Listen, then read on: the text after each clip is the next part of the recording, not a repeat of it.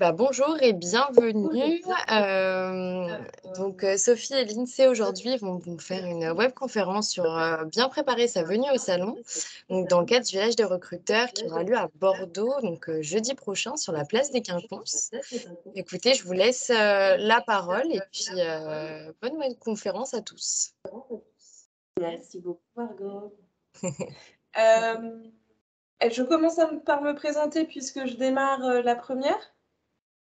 Ça te va, Lindsay Oui, oui, c'est parfait. On présente et puis on démarre comme ça après. Euh, ça marche, on fait comme ça. Donc bonjour à tous et à toutes. Moi, je m'appelle Sophie, Sophie Libert. Je travaille à la mission locale Bordeaux Avenir Jeune et je suis référente parrainage. Euh, et je suis aussi également tout à fait ravie d'être avec vous aujourd'hui euh, pour échanger comment bien préparer un salon donc, moi, je m'appelle Lynn Céleste Tringant, je suis euh, référente parcours pli à la Maison de l'Emploi de Bordeaux. Donc, euh, j'accompagne les demandeurs d'emploi de plus de 30 ans. Euh, et je suis également ravie hein, d'être avec vous ce matin. Ok, alors pour commencer, effectivement, la première des choses, c'est que venir à un salon, c'est super bien, mais venir à un salon en sachant ce qu'on va y faire, c'est quand même mieux. La première des clés que nous avons vues avec l'INSEE, c'est effectivement repérer les entreprises présentes, repérer également si elles ont des postes à pourvoir euh, pour euh, voilà, effectivement bien préparer et savoir exactement où vous voulez aller. Au niveau du site, euh, oui. Oh, oui.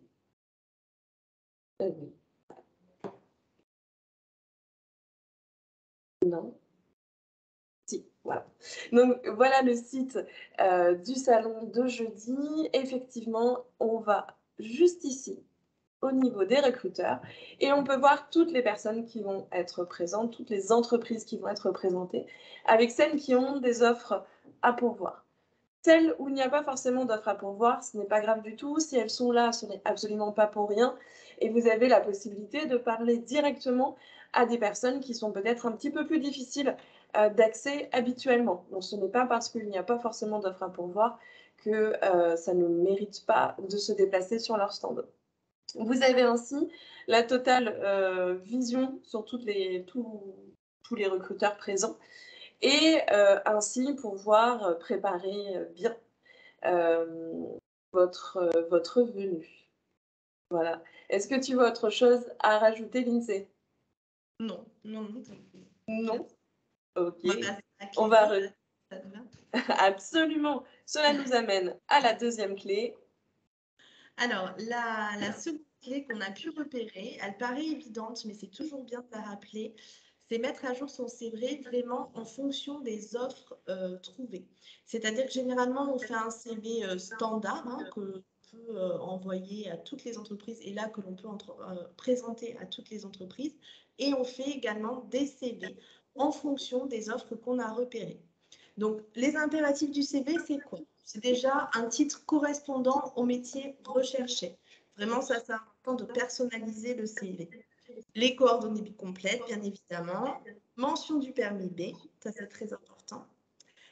Toutes les compétences et les connaissances que vous avez pu acquérir au cours de votre parcours, mais il faut les choisir en fonction du poste et donc du métier hein, euh, pour lequel vous allez euh, déposer votre CV. Les anciennes expériences et les nouvelles en lien avec le domaine visé. Et bien sûr, votre parcours académique. Donc, de préférence, un CV coloré hein, pour attirer l'attention, bien agencé et personnalisé. On vous conseille également d'ajouter une photo ça permettra aux recruteurs de mieux vous repérer par la suite, euh, de savoir que ah, ben, telle personne qui s'est présentée à telle heure, c'est bien ce CV qui correspond. On évite toujours de mentionner la situation familiale, hein, ça, ça rien aux recruteurs finalement. Et puis, euh, petit conseil, si vous voulez faire un CV euh, gratuitement et facilement, vous avez deux sites, Canva et également CV Designer qui permettent de faire des CV euh, euh, rapidement et avec des normes euh, classiques. Voilà. On passe à la troisième clé Et c'est parti effectivement, donc le salon est ouvert en continu tout au long de la journée, mais les personnes qui seront sur place, on va essayer de ne pas oublier que ce sont de véritables êtres humains qui ne vont pas forcément être disponibles de la même façon suivant le moment de la journée. Et avant tout, il faut penser aussi à notre propre rythme. Nous sommes aussi des êtres humains. Donc, si vous n'êtes pas forcément du matin, est-ce que c'est vraiment utile de vous forcer à vous lever très très tôt pour être les premiers sur le, sur place, c'est à vous de voir. Il vaut peut-être mieux décaler son arrivée d'une ou deux heures et être vraiment euh, tout à fait heureux ou heureuse d'être là et tout à fait réveillé. Voilà. Peut-être que c'est quelque chose à prendre en compte aussi également pour vous. Effectivement, l'erreur, en tout cas, que j'ai fait euh, régulièrement euh, auparavant, c'est d'arriver sur l'heure du repas. Effectivement, vous avez soit les personnes qui ne sont pas euh, là, puisqu'elles se nourrissent, soit ce sont des personnes qui sont déjà en train de penser au moment où elles vont se nourrir. Donc, ce n'est pas idéal à ce moment-là de vous présenter, puisque la personne ne sera pas forcément entièrement avec vous. C'est un peu la même chose au niveau de la fin de journée. Euh, être sur un salon, c'est vraiment une expérience super, mais c'est aussi très très fatigant. Et arriver une demi-heure, trois quarts d'heure, voire une heure avant la fin de la journée, ça peut prendre, ça peut être un risque de voir le, rendez-vous ou l'échange un petit peu moins bien que si vous étiez à un moment où la personne était complètement euh, là et présente pour vous. Également, une erreur, on a discuté avec l'INSEE, qui nous est déjà arrivé de faire en nous présentant euh, sur les salons, c'est de ne pas oser revenir en cas d'affluence c'est d'attendre un petit peu en retrait en voyant que tout le monde est occupé sur le, stand et de ne pas oser attendre plus longtemps et également de ne pas oser revenir. Au contraire, vraiment, c'est très bien. Vous voyez qu'il y a du monde. Ne perdez pas forcément beaucoup de temps à attendre en deuxième, euh, en deuxième place, mais allez faire un tour, allez vous aérer éventuellement et ensuite euh, revenez en cas, euh, voilà. N'hésitez surtout pas à revenir c'est vraiment, vraiment important. Vous vous êtes déplacé. Vous êtes là aussi pour rencontrer les personnes. Ne soyez pas trop timide. Clé 4. Clé 4, donc. Donc, en amont, hein, bien évidemment, bien préparer sa rencontre avec les recruteurs. Donc, comment on prépare sa rencontre? Tout d'abord, on prépare sa tenue d'amont. C'est-à-dire qu'on conseille la veille hein, euh, de bien choisir euh, la tenue adaptée. Ça permet euh, également de se déstresser hein, avant d'arriver au salon et de se dire c'est bon, je sais quoi mettre et je sais comment me présenter. Vous pouvez également vous entraîner avec un maximum d'interlocuteurs. Votre conjoint, votre famille, vos amis. Ça permet de se visualiser, hein, de s'imaginer dans la situation de rencontre. Et en fait, ça permet une baisse du stress euh, quand on sait bien visualiser en amont. Et puis, bien évidemment, hein, on se prépare aux questions dites classiques hein, en effectuant des recherches sur les entreprises qu'on a repérées sur le site et également sur le poste. Donc, les questions peuvent être présentées, etc. Généralement, sur un salon, on ne fait pas d'entretien euh, à proprement parler, mais vous pouvez avoir quand même ce type de questions. Donc, c'est bien de s'y préparer en amont. On peut passer à clé 5. Effectivement, on garde le contact. Vous êtes déplacé sur le salon, vous avez échangé avec un recruteur, une recrutrice, vous avez déposé votre CV sur le stand. C'est super, c'est vraiment bien, mais c'est pas la fin. Bien au contraire. N'hésitez pas lorsque vous êtes euh, en train d'échanger ou à la fin de votre échange avec la personne que vous avez rencontrée, de lui demander sa carte de visite afin d'avoir son nom et de pouvoir avoir toutes ses coordonnées. Évidemment, évidemment, pas forcément évidemment, mais n'hésitez pas également à lui demander quand est-ce qu'elle pense pouvoir revenir vers vous afin d'avoir un délai possible. Parce que si elle vous dit je vous rappelle demain, ce n'est absolument pas la même chose que si elle vous dit je vous rappelle avant la fin du mois. Donc là aussi, essayez de lui demander quand est-ce qu'elle pense revenir vers vous pour avoir un délai à peu près. effectivement, parce que si elle vous dit je vous relance à la fin du mois, ça, vous n'allez pas, vous, la relancer deux ou trois jours après. Effectivement, c'est rare les personnes qui vont oser relancer et c'est quelque chose qui est très très important. Vous imaginez sur un salon, on va pouvoir rencontrer énormément de monde. Évidemment, le fait de vous être déplacé, d'avoir fait un échange va marquer la personne que vous allez rencontrer, mais la relance va être importante. Et attention également à trouver un juste milieu entre ne pas relancer trop tard et ne pas relancer trop. C'est-à-dire que ne relancez pas, ne rappelez pas plusieurs fois par jour, ni plusieurs fois par semaine la personne. D'où l'importance de savoir quand est-ce qu'elle pense revenir vers vous. Effectivement, le petit conseil euh, que l'on vous donne, c'est de tenir un tableau de bord avec toutes les candidatures, toutes les personnes rencontrées lors du salon, de bien les noter, de noter quand est-ce qu'elles vous ont dit qu'elles pensaient revenir vers vous pour prévoir vos relances et les noter également. De ce fait, vous n'allez pas avoir un trou en vous demandant est-ce que je l'ai bien relancé ou pas? Si vous avez des réponses négatives, effectivement, n'hésitez pas à recontacter la personne pour qu'elle vous explique quelle était la raison, pour qu'elle vous donne des conseils pour vos prochains entretiens. Ça va vraiment pouvoir vous permettre de vous améliorer. Et ça aussi, c'est une démarche qui est trop peu effectuée et que l'on est ravi de faire lorsque l'on recrute parce que c'est vrai qu'on vous accompagne euh, euh, pour aller mieux. Et c'est pas parce qu'une entreprise vous a dit non que la prochaine fera de même. Clé 6 Clé 6. Eh bien, la dernière clé, nous sommes là pour vous. C'est-à-dire que nous serons hein, sur le salon, la maison d'emploi et la mission locale. Et euh, il ne faut pas hésiter à venir nous voir pour des conseils sur CV, sur la motivation et également pour des encouragements. Donc, euh, vous n'hésitez surtout pas. On sera ravis euh, de vous rencontrer de, de visu. Absolument. Et donc, hop, la petite phrase, c'est que quand il y a trop d'enjeux, il n'y a plus de jeu. Évidemment, la recherche d'emploi est vraiment quelque chose qui est long, qui est difficile. C'est vraiment un travail à temps plein qui peut être tout à fait ingrat. Mais essayez euh, de relâcher et de ne pas mettre trop d'enjeux lors de cette visite de salon pour pouvoir être euh, pour pouvoir jouer un petit peu, si vous me permettez cette expression, dans le sens où pour être détendu et pour pouvoir prendre du plaisir dans la rencontre avec les gens. Voici nos coordonnées.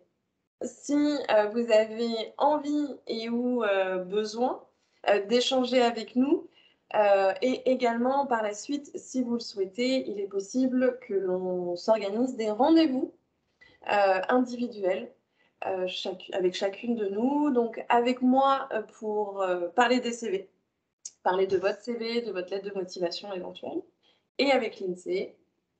Et donc avec moi, on pourra parler de votre situation vis-à-vis de l'emploi de manière globale.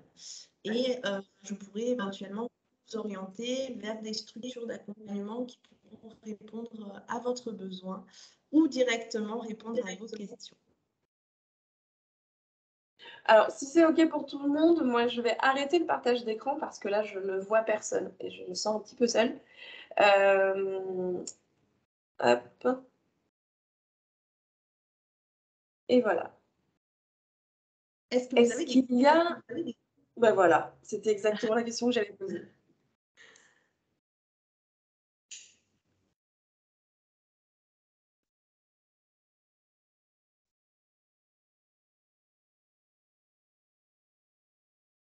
N'hésitez pas à activer vos micros pour poser directement les questions.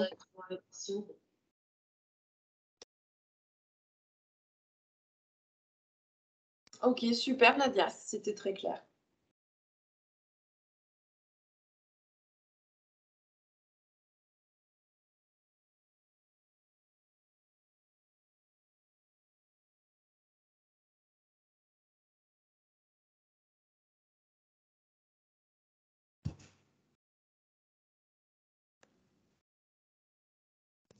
Est-ce qu'il y aurait peut-être des personnes qui seraient intéressées pour avoir, euh, pour pouvoir échanger avec nous de manière individuelle?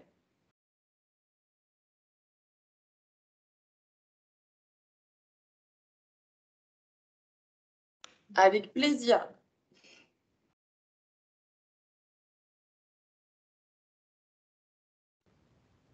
Moi, je suis intéressée. Hein. Nadia. Oui. Nadia. Ok, Nadia. Plutôt avec l'INSEE ou plutôt avec moi? C'est plutôt euh, du côté CV ou plutôt du côté plus global?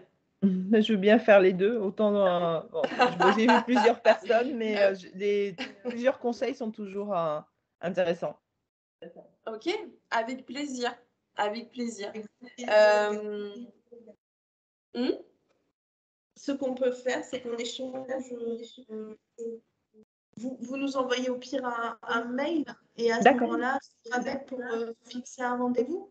Vous, avez noté les mails Oui, oui, j'ai vos mails. Hein. Bon, super. Vous envoyez un mail et normalement, il y aura une, je vous rappelle euh, rapidement pour pouvoir fixer l'entretien. Ça marche. Moi, ça peut être cet après-midi. Alors, cet, après-midi, euh, il y a d'autres visios? Ouais. 14, 15 heures, 16 heures. Euh, ah bah c'est intensif, hein, c'est intensif. Ça va peut-être être, entre deux, oui, mais je sais pas. Oui, ça va être peut-être un peu rapide. Mais on trouvera un moment de toute façon. Déjà, je vous fais un mail avec mon CV actuel et puis du coup, on peut peut-être échanger rapidement au téléphone entre deux. Ou, euh, Oui, tout à fait, tout à fait. Puis sinon, pire du pire, euh, ce sera demain après-midi ou mercredi matin pour moi. Euh, oui, il faut que je regarde. je crois que j'ai d'autres salons aussi. On verra. Vous inquiétez pas, Nadia, on verra. On trouvera forcément. Ça marche, avec plaisir. comme vous le dites, comme vous le dites, au pire du pire, on fera un échange par téléphone et ce sera très bien aussi. Hein. Oui. Merci, en tout cas, c'était très clair. Je ne sais pas si c'est vous sur les autres euh, webinaires, mais... Ah oui, non. Là, c'était une exclusivité mondiale ce matin. Bon, bah, approche, à une prochaine fois, en tout cas, avec plaisir. Absolument. Vous pourrez me croiser euh, sur le salon jeudi. Ce sera des collègues à moi qui seront sur le stand de, la mission locale, mais je ne vais pas euh, bouder le plaisir de venir voir quand même. D'accord, mais parfait. D'accord.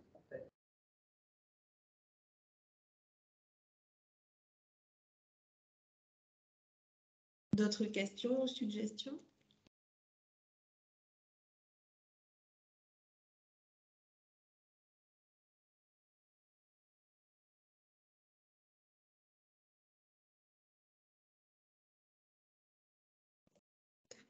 Écoutez, s'il n'y a plus de, plus de questions, je vais vous libérer.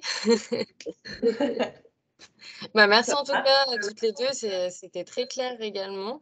Euh, et puis, bah, on se verra euh, normalement, euh, bah, sûrement jeudi, si vous, si vous passez sur le village. Absolument, absolument. Moi, ce sera des collègues. Ok. Bah, écoutez, merci à tous et merci aux, participants. Et puis, euh, Absolument. bonne journée. Ah, bah, il y a quelqu'un qui importe.